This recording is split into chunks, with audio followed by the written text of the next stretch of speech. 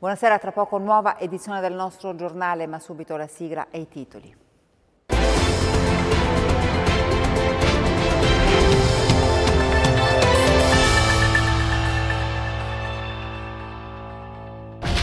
Eseguita l'autopsia sul corpo del pizzaiolo ucciso a Crotone lo scorso 7 ottobre, a causarne la morte un solo proiettile. Domani i funerali. Il TAR della Calabria deciderà domani sui ricorsi presentati contro l'indizione del referendum fissato per il prossimo primo dicembre. Cresce l'attesa. La Calabria è la seconda regione più povera d'Europa, lo dice un'indagine di Eurostat, ma per l'Istat è quarta in Italia per spesa media alimentare mensile. Sopralluogo del commissario SIN Emilio Enrico nell'area ex Enicam per pianificare i lavori di bonifica e recupero di una delle zone più inquinate della città di Crotone. Tre società, autoveicoli, unità immobiliari e conti correnti sono stati sequestrati alla Guardia di Finanza di Catanzaro ad un imprenditore ritenuto vicino alle cosche della Sibaritide. Quattro anni fa moriva Iole Santelli, la prima presidente donna della Calabria. Il presidente Occhiuto la ricorda come la prima a raccontare una regione diversa, aperta al cambiamento. Lavoriamo seguendo questa scia. Ancora buonasera dalla redazione del TG10, dunque in apertura alla cronaca. Oggi è stata eseguita l'autopsia sul corpo di Chimir, il pizzaiolo ucciso a Crotone lo scorso 7 ottobre. Ebbene, secondo quanto emerso dall'esame, a causarne la morte è stato un solo proiettile. Domani eh, sono stati fissati i funerali. La morte di Francesco Chimirri è stata causata da un solo proiettile calibro 9 che ha attraversato fegato e polmone per poi fermarsi ad una vertebra. Emerge dall'esame autoptico effettuato questa mattina sul corpo del pizzaiolo 44enne di Isola Caporizzuto, ucciso a Crotone da un colpo esploso dalla pistola del vice ispettore Giuseppe Sortino di 37 anni al culmine di una lite. Dopo l'autopsia eseguita nell'obitorio dell'ospedale di Crotone dall'anatomopatologo Massimo Rizzo, nominato consulente dalla Procura della Repubblica di Crotone, il corpo è stato restituito alla famiglia per i funerali che si svolgeranno domani. L'esame autoptico, secondo quanto si apprende, avrebbe evidenziato anche l'esistenza di un colpo alla nuca di Chimirri che potrebbe essere stato causato dallo sfollagente usato dal vice ispettore di polizia. Intanto proseguono le indagini su quanto accaduto lo scorso 7 ottobre nel quartiere Lampanaro. Sono sei al momento gli indagati. Oltre al poliziotto e al figlio della vittima ci sono anche l'automobilista con cui il 44enne ha avuto un incidente prima del fatto che deve rispondere di favoreggiamento, i due fratelli e il padre della vittima accusati di tentato omicidio e lesioni questioni gravissime nei confronti dell'agente di polizia. Sul luogo dove è avvenuta la spadatoria hanno lavorato anche gli specialisti del RIS di Messina. Le indagini vanno avanti per chiarire tutti gli aspetti della drammatica vicenda, iniziata con un incidente di lieve entità, proseguita con un inseguimento tra auto tra le strade di Crotone, infine la rissa, gli spari e la tragedia. Lasciamo per il momento la cronaca, torniamo ad occuparci della città unica. Ebbene, il TAR della Calabria deciderà domani sui ricorsi presentati contro l'indizione del referendum fissato per il prossimo primo dicembre. Ne andrà aggiunta una, forse due, alla lista delle date chiave già dettate in precedenza, relative alla costituzione della città unica Cosenza rende Castro Libero. Al 1 dicembre 2024, giorno del referendum, e dal 1 febbraio 2027, giorno in cui dovrebbero sciogliersi i tre comuni, aggiungiamo ora il 16 ottobre 2024, perché da qui si passa affinché queste date potranno essere realmente concrete. Domani infatti il Tribunale amministrativo regionale di Catanzaro si riunirà per la discussione della sospensiva sul referendum con consultivo su richiesta delle associazioni rendesi, di ex consiglieri comunali e alcuni cittadini. Il ricorso si basa sulla necessità di sentire i comuni interessati, passaggio che, secondo i ricorrenti, non sarebbe stato posto in essere dalla Regione, che avrebbe bypassato i consigli comunali, non permettendo un confronto democratico nelle sedi istituzionali. Un giudizio questo che quindi potrebbe far slittare il referendum del primo dicembre, che lo ricordiamo è consultivo, ma che comunque dovrà rivestire un peso specifico notevole nella vicenda e sta generando un acceso dibattito politico. Sempre nel novero delle date chiave potremmo anche doverne aggiungere però un'altra, ovvero il 6 novembre, anzi proprio questa data potrebbe prendere il posto del 16 ottobre perché la seduta del TAR potrebbe anche essere spostata. Esistono infatti altri due ricorsi, ovvero quello presentato dal sindaco di Cosenza e quello del comune di Castrolibero. Il TAR quindi potrebbe unire i tre ricorsi e la seduta slitterebbe così di circa 20 giorni. La Calabria si posiziona quarta per la spesa media mensile alimentare, un dato che però stride con il report dell'Eurostat, secondo cui proprio la Calabria è la seconda più povera in termini di sviluppo. 562 euro è la spesa media mensile che i calabresi versano per comprare pesce, verdura, pasta e altri alimenti del paniere alimentare. Nello specifico, nella nostra regione si spendono in media al mese 112 euro per la carne, per i salumi e per i formaggi, 89 euro per pasta, pizza, pesce, pane e cereali, 74 euro per la verdura. Acquisti che in base ai dati Istat posizionano la Calabria al quarto posto, dopo Campania, Sicilia e Friuli Venezia Giulia su una media nazionale della spesa alimentare mensile di 526 euro.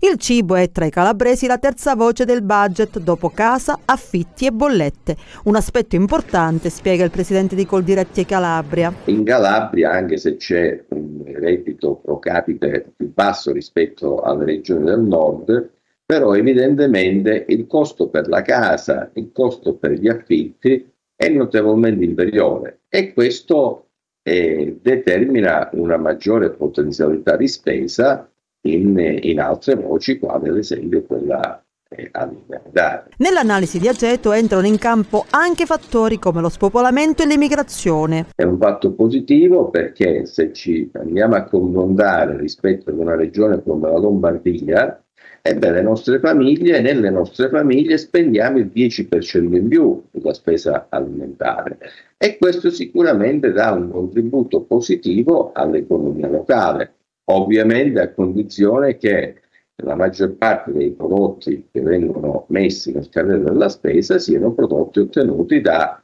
eh, produzioni e trasformazioni realizzate in. E su questo argomento il commento dell'economista Giuppino De Rose. Ci sono statistiche sorprendenti e che comunque parlano di noi forse più di tante altre parole.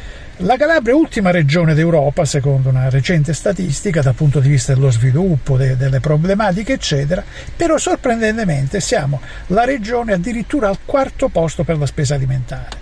Adesso ci saranno analisi sociologiche, controsociologiche che ci spiegheranno il motivo, ma resta una motivazione interessante da capire. Che cosa c'è dietro questo consumo alimentare? Una regione spendacciona, godereccia, edonistica, oppure, come spesso accade, una spesa alimentare è viceversa indicatore di una crisi fondamentale perché tradizionalmente le regioni che spendono molto per spesa alimentare, lo si vede anche negli Stati Uniti, sono spesse quelle che hanno problemi strutturali di natura molto più importante, per cui all'importante mangiare, poi Dio ci pensa, potrebbe essere forse una delle chiavi di risposta. O c'è qualcosa di più significativo di una regione che fa fatica ad impossessarsi di modelli più salutistici? Domanda importante e certamente difficile a cui rispondere. Sopralluogo del commissario Enrico sui luoghi dell'ex Enicem, il sito interessato da una procedura fallimentare può essere sottoposto al recupero ambientale. Stamattina al sopralluogo sull'area Gres ex Enichem, per capirci siamo a Crotone da parte del commissario Sin Enrigo. Si tratta di 14 ettari sulla statale 106, resta lo scheletro in cemento di quella che è stata la storia industriale della città negli ultimi decenni. Prima Enichem, poi nel 2009 la Croton Gres. Oggi c'è una procedura fallimentare e il sito rientra in quelli di interesse nazionale che Enrigo visita per la prima volta città. Io come commissario mi devo interessare degli interventi di bonifica e della realizzazione anche eh, del, degli interventi per riparare il danno ambientale che storicamente comunque e attualmente si sta verificando perché queste incuria possono creare anche altri danni. Però siccome, come ha detto la sovrintendente, si tratta di beni anche di rilevante interesse storico, vanno valorizzati, vanno recuperati nei limiti del possibile e, e insieme naturalmente alla componente specializzata dell'arma dei carabinieri vediamo se ci sono situazioni che meritano attenzione per aiutare anche, sostenere e supportare il curatore fallimentare del Tribunale a risolvere i problemi che lui da solo non può risolvere. Un'area che è finita all'asta, ma dal punto di vista della bonifica che punto si è? Diciamo che è stata fatta una importante opera di smaltimento di eh, materiale per, potenzialmente inquinante, materiale ferroso, lana di roccia, tant'è che oggi presenta il sito degli ampi spazi, là dove c'erano dei manufatti fatti, eh, costruiti con questo materiale. E questo ha consentito di migliorare la situazione. Oggi presente anche la sovrintendenza, si può parlare per questo sito di archeologia industriale? Assolutamente sì, mi meraviglia il fatto che in qualche modo non sia stata data rilevanza storica a, al fatto che eh, l'area industriale che oggi ovviamente eh, crea molte problematiche che devono essere assolutamente risolte possa costituire anche però un esempio di architettura industriale degli inizi del Novecento di, di assoluta pregevolezza. E torniamo alla cronaca con un sequestro di beni ad un imprenditore ritenuto vicino ai clan di Indrangheta della Sibaritide. Ci sono anche tre società con i relativi patrimoni aziendali che comprendono numerosi veicoli, tre unità immobiliari e conti correnti fra i beni sequestrati dallo scico del comando provinciale della Guardia di Finanza di Catanzaro ad un imprenditore ritenuto contiguo alla cosca Fora Stefano abruzzese. Provvedimento adottato nei confronti dell'imprenditore che rientrerebbe nella categoria dei soggetti connotati da pericolosità qualificata è stato emesso dal Tribunale di Catanzaro Pesaro, sezione per l'applicazione delle misure di prevenzione. L'imprenditore, secondo quanto si apprende, risulterebbe coinvolto nei procedimenti penali denominati Gentleman 2, Cossa e Atena, che hanno riguardato la cosca operante nella Sibaritide e nei quali rispettivamente sono stati ipotizzati i reati di partecipazione all'associazione dedita all'importazione internazionale di sostanze stupefacenti, truffa ai danni dello Stato e violenza privata, tutti reati aggravati dall'agevolazione violazione della cosca commessi nel periodo compreso tra il 2017 e il 2023. Il provvedimento odierno, adottato nell'ambito delle misure di prevenzione sulla base di indagini economico-patrimoniali coordinate dalla DDA di Catanzaro, e affidati agli specialisti della sezione misure di prevenzione, avrebbe portato gli inquirenti ad esaminare la posizione reddituale del destinatario e dei suoi familiari allo scopo di verificare l'effettiva disponibilità alla provenienza dei beni e la sproporzione del relativo valore rispetto ai redditi dichiarati e all'attività lavorativa. Nel prossimo servizio invece vediamo qual è la situazione su Corso Telesio a Cosenza, zona inibita al traffico. Servirà ancora qualche giorno per terminare i lavori in corso nel centro storico e rimuovere le transenne che limitano il traffico su Corso Telesio. L'ordinanza della Polizia Municipale è stata prorogata fino al 17 ottobre per consentire l'ultimazione dell'intervento sulla pavimentazione. Nella zona interdetta al traffico sono rimasti pochi esercizi in attività. Hanno chiuso da tempo ormai una lavanderia, una rivendita di tabacchi e un acconciatore. Tra le sala cinesche abbassate e le insegne in legno ormai sbriciolate e sbiadite resistono un restauratore, un negozio di articoli per calzolaie e calzature che Raffaele Nudo inaugurò nel 1936 e una casa editrice aperta nel 2014 ai tempi del Temporary Store. Nessuno degli intervistati si dice infastidito dalle chiusure, anzi. L'abbiamo presa con filosofia, per fortuna la parte che riguarda noi è durata giusto una settimana. L'unico disagio è stato il preavviso, siamo stati avvisati la domenica sera che il lunedì lunedì avrebbero chiuso. La cosa positiva di questi lavori è che ci sono più persone che camminano a piedi. Per i commercianti del centro storico, superstiti di una crisi che ha cancellato quasi 100 attività negli ultimi 12 anni, gli interventi sono necessari, anzi sarebbe il caso di estenderli ad altre aree e di migliorare la viabilità ordinaria penalizzata dai crolli che hanno ostruito diverse strade interne. Un esempio? Mancano cariche e scarico, mancano parcheggi a tempo, mancano parcheggi per i residenti e poi ci hanno tolto la, la comodità che avevamo che da via Giuseppe Campagna si scendeva poi si arrivava sotto allo Spirito Santo, allo Spirito Santo c'era il doppio senso che andava al parcheggio a Lungocrati. Oggi che dobbiamo fare? Per andare, arrivi qua, un, un, residente che deve poggiare una, una spesa un qualsiasi per andare a parcheggiare sul parcheggio a Lungocrato deve andare fino a Viale Trieste, fare il giro della Villa Nuova, imboccare a Lungocrato e venire di nuovo qua. Stiamo parlando di lineari a 100 metri. Lavorare nel centro storico non è da tutti, ce la fa solo chi, oltre alla grande passione, ha costruito negli anni una clientela fidelizzata come la Bottega Salvati, aperta nel 1929 come calzaturificio e che oggi, dopo tre generazioni, continua a effettuare riparazioni nel cuore città vecchia. Rimaniamo a Cosenza per l'undicesimo meeting nazionale della Polizia Locale. Non solo un appuntamento per addetti ai lavori, ma anche il coinvolgimento di scuole, di importanti relatori e di rappresentanti istituzionali. E questa Pol 2024, undicesimo meeting nazionale della Polizia Locale che si terrà al Castello Svevo di Cosenza. Saranno diversi gli argomenti che saranno affrontati nel corso di una o due giorni di alta formazione. Condividere e soprattutto consentire ai membri della pubblica amministrazione di tutta Italia di fruire di formazione, aggiornamento e informazione gratuita nel meridione, che è già un'eccezione, eh, prevedendo la condivisione delle scuole, quindi delle nuove generazioni, facendo un'educazione eh, formativa, civica, anche eh, con riferimento al codice della strada e condividendo eh, anche queste informazioni a vantaggio degli iscritti degli ordini professionali. Il tema principale di questa edizione sarà tutela e sicurezza del territorio, tecnologia al servizio dei cittadini.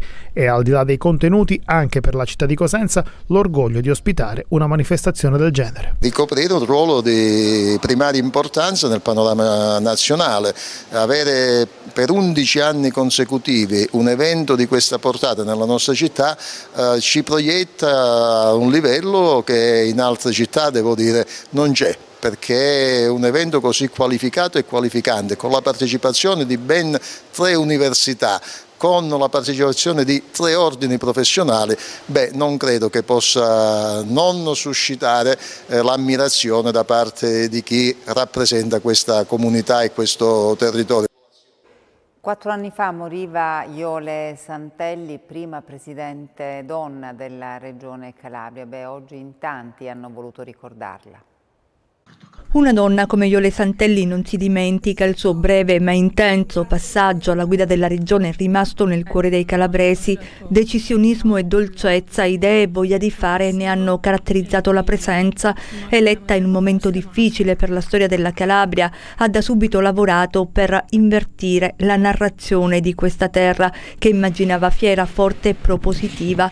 L'impatto terribile con la pandemia, la gestione di quei giorni difficili, lo scudo eretto per difendere la sua gente, sapendo benissimo i tanti guai del sistema sanitario calabrese, ha urlato all'Italia intera il disagio dei nostri territori, le difficoltà senza mai tirarsi indietro. Amava la vita, Iole, le genti, le città e la sua in particolare Cosenza, verso la quale ha sempre mostrato l'amore intenso, viscerale. Sono passati quattro anni da quel terribile giorno nel quale ha chiuso gli occhi ed è volata in cielo, ma rimane vivo in tutti il suo ricordo, i suoi sorrisi, la sua determinazione, la sua inguaribile positività. Quattro anni senza Iole, una donna straordinaria, la prima donna a guidare la Calabria da presidente, una donna che durante il suo periodo di governo ha cambiato anche l'immagine della nostra regione, ha iniziato un percorso che oggi sta proseguendo il governo regionale guidato da Roberto Chiuto, un percorso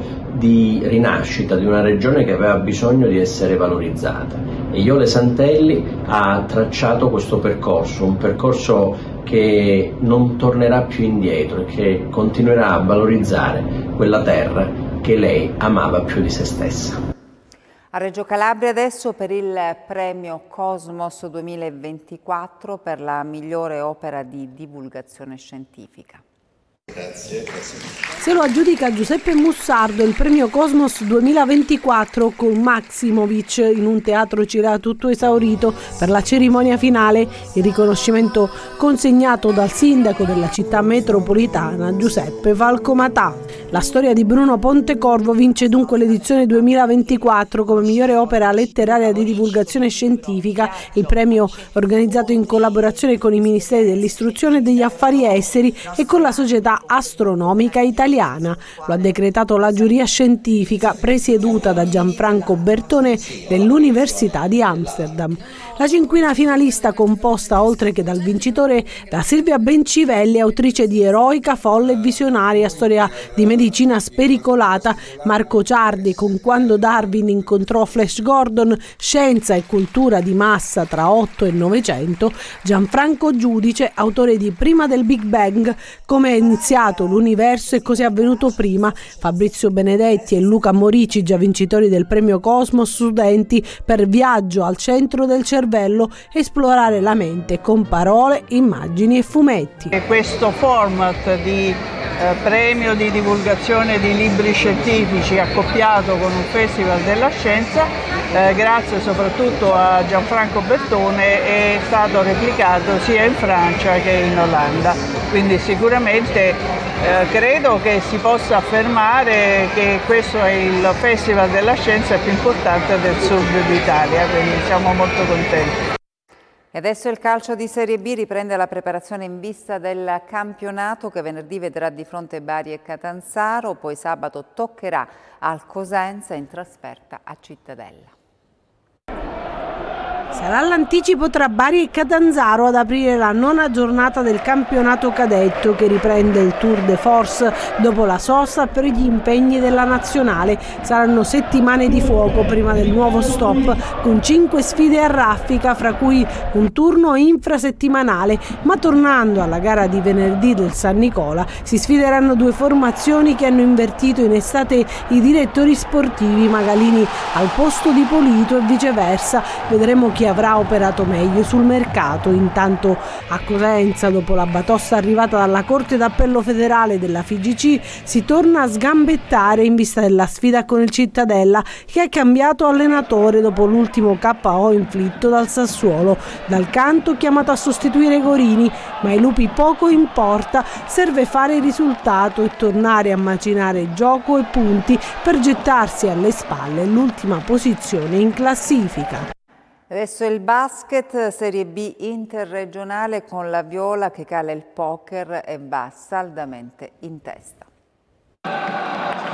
Quattro successi su quattro gare per la Re del Viola Reggio Calabria che cala il poker battendo al Pala Calafiore il quintetto del Castanea. La formazione calabrese condivide il primato in classifica con l'Angri e guarda con fiducia i prossimi impegni visto che sabato il calendario propone un'altra sfida sul parquet di casa spinti dal calore del pubblico contro Milazzo. Ma tornando al successo sul Castanea allenata dall'ex Claudio Cavalieri i ragazzi di coach Cadeo si impongono per 82 a 69 grazie all'allungo iniziale. I nero-arancio dominano per tutti i quattro parziali con Ani in evidenza al tiro che alla fine è il migliore realizzatore di casa con 18 punti. Ma è stata una gara spettacolare con schiacciate e conclusioni da fuori che hanno esaltato il numeroso pubblico. Ancora uno stop invece per la formazione rendese allenata da coach Carbone, orfana del playmaker Ginefra fermato da un infortunio. La Bim Boom dopo l'ottima prestazione nel derby con i Regini cade in trasferta per mano di Piazza Armerina considerata fra le favorite alla vittoria finale. Una sola vittoria su quattro gare per i biancorossi attesi da un'altra sfida proibitiva domenica alle 18 quando al polifunzionale di 4 miglia arriverà la capolista Andri. Ed è davvero tutto, grazie come sempre per l'attenzione, buon proseguimento di serata, arrivederci.